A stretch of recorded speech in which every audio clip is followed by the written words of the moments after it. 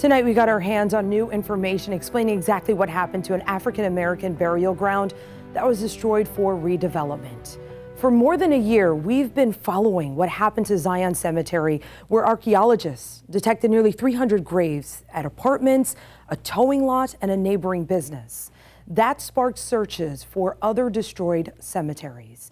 And so far, crews found 145 graves in a field at King High School, more than 50 at an old school in Clearwater, and at least 70 more at a business a few miles away. There are also searches underway in Odessa, MacDill Air Force Base, and Tropicana Field.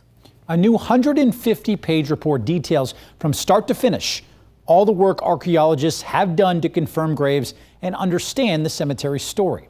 10 Tampa Bay's Emerald Morrow spoke to the lead archaeologist on the case.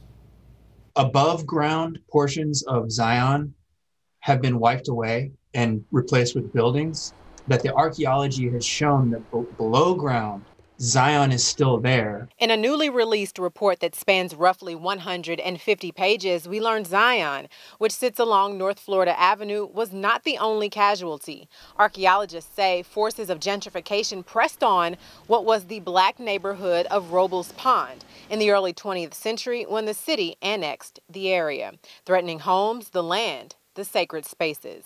Those white landowners that bought portions of Zion immediately removed all of the headstones and turn the space into residential and commercial space, effectively erasing the cemetery. We also learn of those buried in Zion. Some are believed to live through slavery and emancipation, but poor record keeping means we know little about their lives. There's also evidence that some graves were disturbed or moved, and maps show where city utilities run right next to or over some of the graves. That's going to require close coordination between landowners and the city of Tampa to deal with those utilities and roads. In all, archaeologists have detected 297 graves, and they believe there are more. All of the graves are still there, and all of the items that people place with their loved ones, um, many of which trace back to long-standing African American um, traditions, are still in place.